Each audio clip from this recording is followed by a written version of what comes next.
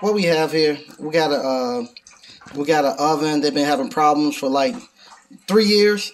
Three years. Yeah, three years. Um, it, it comes to temperature. We get halfway there. After it cycles a little bit, it doesn't hold the temperature. And we're gonna look right here on the schematic, and we see right here we have uh, P1 coming out. It's a brown wire, and you see it goes to the uh, to one side of the convection um, heater element, one side to the bake heater element, then the other side to the broil. When this one it's preheating, it uses the bake and the broil to actually preheat. So it will preheat and get to the right temperature because the broil is actually working, but the bake element is actually burned out. So once it preheat, uh, it won't be able to keep that temperature because then they try to use the broil, uh, the bake to actually keep the temperature, and the bake element is burned out. So if we look right here, we got a yellow wire. Uh, we have a yellow wire going right here to the actual bake, and uh, we have this uh, this brown wire that's feeding the other side of the bake. So we're gonna come over here,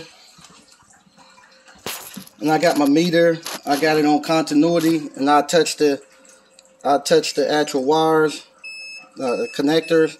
You see, I got continuity. So I come right here on this board. I see the brown wire, so I'm gonna put one meter lead. I see the brown wire, I put one meter lead on the brown, and I come here and I check my um, bake element. That'll be the yellow one. I don't hear anything. That let me know that bake element is burned out. Same thing if I come here to the actual orange wire, that's the convection, that works. Then if I come down here to the broil, that works. The bake element is burned out. That's what it is. So it'll heat up during the preheat because it uses the bake and the broil to preheat. But once it preheat, it doesn't stay anymore because that bake element is burned out. So just doing a basic continuity test is how I'm able to uh, to check that. I just look at the schematic and this one right here, if we open it up, it's a hidden uh, element. So um, instead of having to take it all the way apart to get to that element, I can do everything from right here in the control board.